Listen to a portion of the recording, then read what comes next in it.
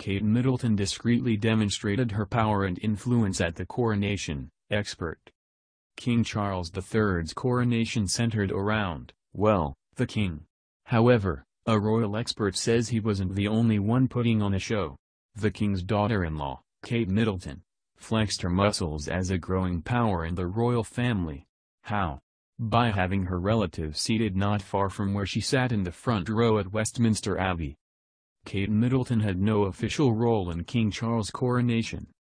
She might be a future queen but the Princess of Wales didn't play an official role in the coronation. Kate attended the May 6 ceremony alongside her husband, Prince William, and their three children, Prince George, 9, Princess Charlotte, 8, and Prince Louis, 5. George and the Prince of Wales were the only two Wales family members who technically had roles. After all, they're first and second in the line of succession. William kneeled and pledged his loyalty to King Charles while George served as a page of honor. Despite not having an official role in the coronation ceremony, Kate looked the part. Her coronation outfit included a custom Alexander McQueen gown, complete with a robe and silver flower crown. Along with William and her three children, Kate participated in the carriage procession from Westminster Abbey to Buckingham Palace. They also joined the newly crowned King Charles and Queen Camilla on the palace balcony.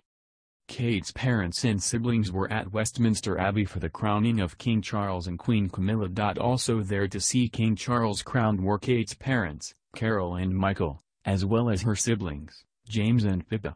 The addition of Kate's family showed, according to royal expert Camilla Tominey, the Princess of Wales' growing power and influence. Kate, Tominey noted in The Telegraph, used to be a plus one when she started dating her now husband of 12 years. Once seen by some as a mere wag, wife and girlfriend, Kate's now queen-in-waiting. As such, she can call the shots.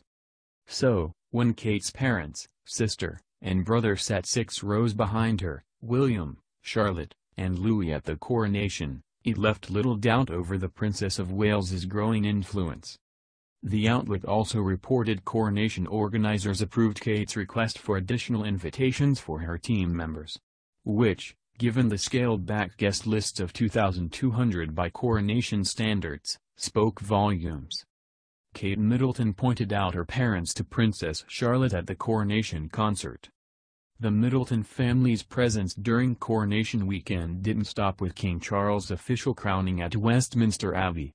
Kate's parents were also in the audience at the Windsor Castle coronation concert on May 7.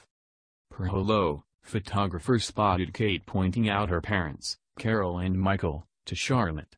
Sitting in the royal box with William, George, King Charles, and Queen Camilla, Charlotte's maternal grandparents could be seen sitting in the section just below. Meaning Kate's parents were there for William's tribute to King Charles and for Charlotte's adorable reaction to seeing her dad on stage. The evening included performances by Katy Perry, Lionel Richie, and Take That among others, with Downton Abbey and Paddington actor Hugh Bonneville.